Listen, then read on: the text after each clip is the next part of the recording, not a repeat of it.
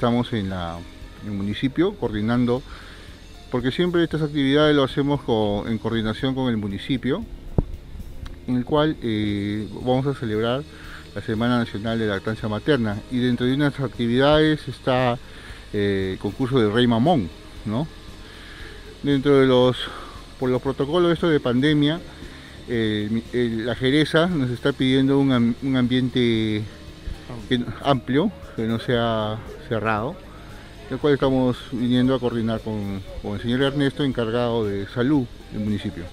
Eh, bueno, eh, concientizar a la madre gestante que tengan eh, que siempre a los niños lo alimenten con una lactancia exclusiva, que no utilicen ellos suplementos, leches artificiales que puedan causar algún daño al pequeño. ¿no?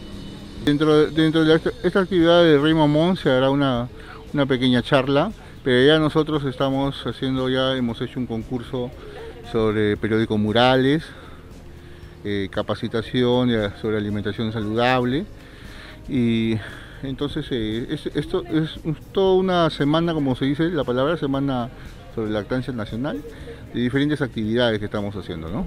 Está programada del 23 al 28 de agosto. ¿No? Sí, sí, de diferentes actividades. No, eh, concientizar a las, a las madres que tienen el pequeñito que la lactancia, la leche materna es importantísimo para la alimentación. Aparte de su desarrollo, su estructura, eh, le va a brindar muchos beneficios, ¿no? Dentro de eso evitar las alergias, el desarrollo de la musculatura de la cara, entonces eh, y su estructura ósea y un buen desarrollo de los dientes también, ¿no? Sí, efectivamente estamos este, en las coordinaciones respectivas con el área correspondiente del Centro de Salud Materno Infantil eh, para que se hagan las actividades, lactancia, eh, los concursos ¿no? de los de Rey Mamón, que va a ser entre 27 hasta el día creo que 28 aproximadamente. Entonces nosotros como municipalidad bueno, vamos a brindar todo el apoyo logístico, como es el coliseo, de repente otras cosas que necesitan. Bueno, estamos ahí en las previas coordinaciones para que se lleve a cabo esta actividad de la menor, mejor manera. De este, por estos medios invitar a toda la madre de familia que asistan a ese concurso, que asistan a esas charlas, porque va a haber charlas, lógicamente, sesiones de, demostrativas de, alimentación, ¿no? por parte del de Centro de Salud y bueno, que, participen, ¿no? que todos estén ahí y creo que vamos a premiar, vamos a premiar al, mejor rey, el Mamón.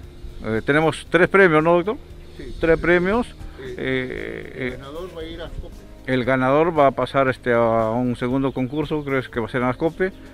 El primer puesto, segundo puesto, bueno, va a recibir su premio, tercer puesto también su premio. Lo importante es participar, no busquemos quizás este, ganar, ¿no?